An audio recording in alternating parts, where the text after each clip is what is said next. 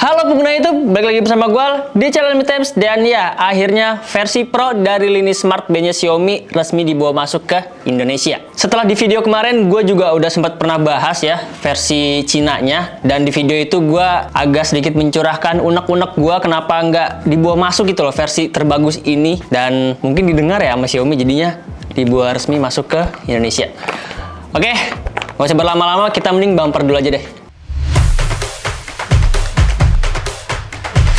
Ya, ini dia unitnya Xiaomi Smart Band 8 Pro yang resmi masuk ke Indonesia. Udah ditandain di bagian ujung sini ada tulisan garansi resmi Xiaomi Indonesia. Kalau misalnya kalian kemarin ikut PO Xiaomi 14, mungkin kalian sudah memegang unitnya ini karena dia sempat di bundling ya. Jadi kalau misalnya kalian beli Xiaomi 14 dikasih free Xiaomi Smart Band 8 Pro. Dan tadinya gue juga udah sempat pesimis banget karena buat yang versi Pro ini dia sebelumnya itu hadir di seri 7 7 alias Smart Band 7 Pro. Mungkin emang karena peminatnya masih agak kurang banyak, jadi yang versi 7 Pro itu nggak dimasukin dan syukurlah buat yang versi 8 Pro ini dimasukin resmi ke Indonesia. Karena emang ini smartwatch bener-bener OP banget dan harganya bener-bener affordable banget, bahkan lebih worth it ketimbang kalau misalnya kalian beli Xiaomi Redmi Watch 3. Dan sebenarnya di video kali ini gue nggak bakal bahas panjang lebar ya, mungkin lebih ke arah ngasih tahu ke teman-teman perbedaan antara versi Cina dan versi resminya kayak apa dan juga mungkin ada perbaikan-perbaikan dari yang omongan gue sebelumnya kalau misalnya ada salah mungkin bakal gue perbaikin di video ini oke pertama gue mau bahas tentang varian dan harganya dulu buat yang versi resminya ini dia dibanderol dengan harga 700 ribuan dan pilihan warnanya dia ada dua opsi yaitu warna black dan juga yang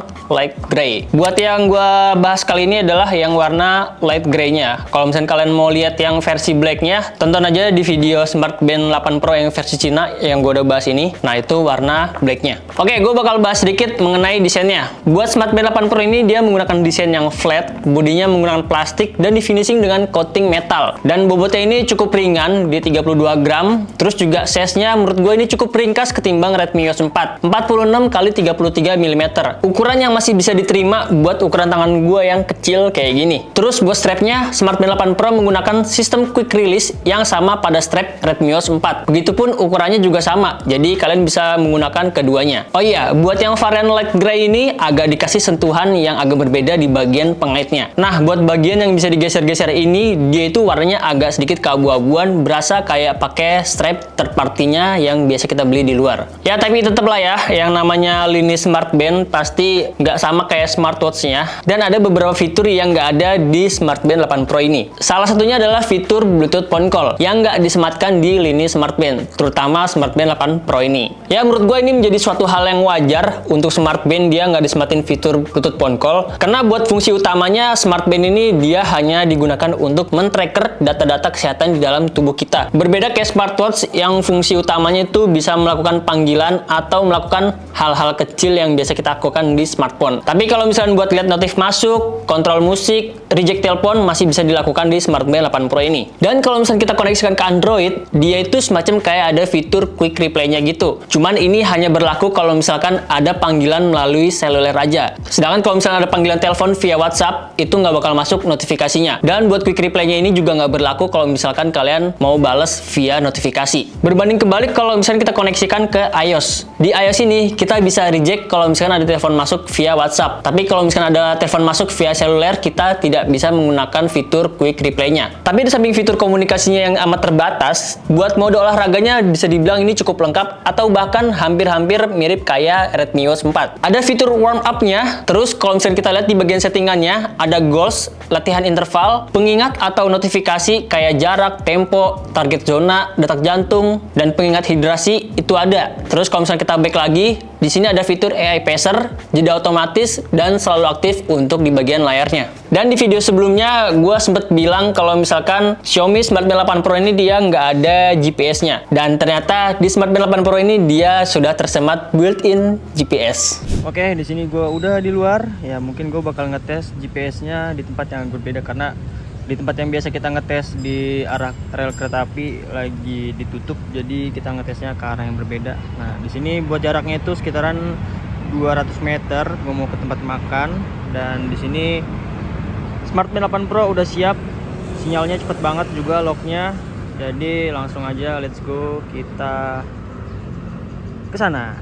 Oke, ini dari posisi gue berdiri 200 meter. Apakah dia uh, akurat atau enggak? Kita jalan aja, coba. 180 meter dan di sini udah 20 meter. Oke. Dan gue ngetesnya di tempat yang sebenarnya agak ketutup-tutupan sama daun-daun kayak gini. Jadi buat ngetes GPS-nya juga dia bisa nggak buat uh, ngelewatin rintangan-rintangan rintangan-rintangan kayak si hutan-hutan gini kayak pohon-pohon yang lebat-lebat gini nih. Nah oke udah 41 nah biar review gua nggak sia-sia jadi gua minta bantuannya buat temen-temen buat like dan juga subscribe channel ini. Bantu gua tembusin 10.000 subscriber karena nanti kita bakal ada giveaway dan ada target dari bos.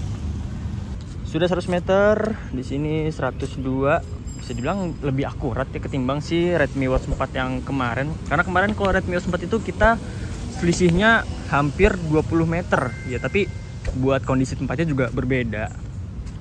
Ya harusnya sih nggak ngaruh ya. Tapi ya udahlah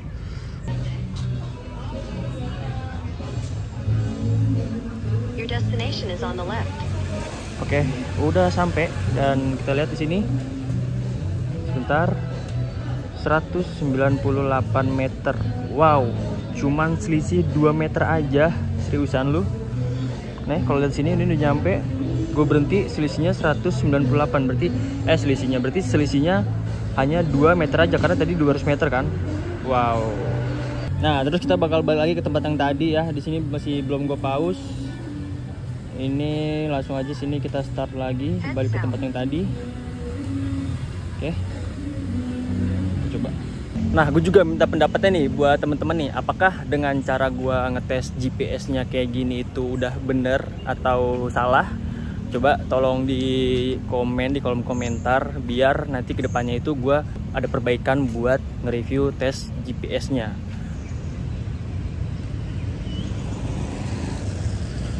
Nah, kalau misalnya kita lihat di Strava ini bakal langsung masuk ke aplikasi Strava-nya. Teman-teman bisa lihat di sini. Nah, itu jaraknya tadi cuma lurusan doang kan. Dan ya udah. Jadi cuman butuh sinkron aja buat masuk ke Strava-nya. Nah, kalau misalkan di Smart Band 8 Pro dia kalorinya terbakar 18 kalori, stepnya 594 dan rata-rata heart rate-nya di 107. Dan kalau di sini dia terbakar 18 kalori terus heart rate-nya 108 sini 107 ya nggak beda jauh lah. Terus juga ada fitur running buat kita yang mau latihan lari dengan training plan yang sudah disediakan. Dan training status seperti training load, VO2 max, serta recovery time ada. Ya menurut gue udah cukup lah buat gue pribadi yang suka jogging-jogging ringan setiap weekend. Buat kasih data-data yang gue butuhin ada semua di sini. Dan kalau datanya mau di-share ke Strava juga bisa, tinggal kalian sambungin aja ke Strava yang nantinya bakal auto sinkron ke Strava-nya. Dan ada satu lagi namanya aplikasi Sunto. Yang sebenarnya kalau Sunto ini gue nggak terlalu tahu banget karena masih belum familiar buat gua, tapi kalau buat Strava sih oke okay lah. Oh iya, sama fitur satu lagi auto detect kalau misalnya kita nyalain di pengaturannya. Ada 6 mode olahraga yang bisa ngedeteksi aktivitas olahraga kita secara otomatis, kayak walking, jump rope, rower, cycling, elliptical dan juga running. Kalau buat fitur-fitur healthy monitoringnya ini udah lengkap banget termasuk interval tracker ini udah ada ya hampir mirip-mirip kayak di Redmi Watch 4. Buat heart rate, kita bisa lihat heart rate zone dan continuous monitoring bisa kita set ke setiap menit. Jadi setiap menit detak jantung kita bakal dicek tuh dan kalau misalkan ada indikasi detak jantung kita sedang tinggi atau sedang rendah-rendahnya, bakal ada notifikasinya. Terus SPO2 atau saturasi oksigen yang bisa kita set setiap hari. Pemantauan kualitas tidur yang sayangnya kalau untuk pemantauan ini kita nggak bisa ngelihat data secara tujuh hari ke belakang. Tapi menurut gua ini udah cukup lengkap banget. Terus juga ada stress test yang juga bisa kita set monitoringnya setiap hari. Breathing exercise dan buat perempuan ada fitur kewanitaan buat cek data menstruasi. Nah terus apa bedanya bang sama yang versi Cina dan yang versi resmi ini. Kalau kalian udah nonton di video yang sebelumnya, yang versi Cina itu dia tersemat fitur NFC dan juga ada Xiaomi AI. Serta pembayaran lainnya kayak Wexin Pay atau Alipay yang versi Cinanya itu ada. Tapi kalau misalkan yang buat di versi resminya ini, dia itu nggak ada. Ya, kalaupun ada juga percuma gitu, karena buat fiturnya kita nggak bisa menggunakan di region Indonesia. Makanya dihapus. Dan fitur-fiturnya tersisa tinggal beberapa fitur lainnya kayak kalender, alarm, Alexa, tas, stopwatch, musik control, find my phone, word clock, kamera yang bisa kita koneksikan dengan kamera bawaan HP, timer, flashlight, dan juga fokus.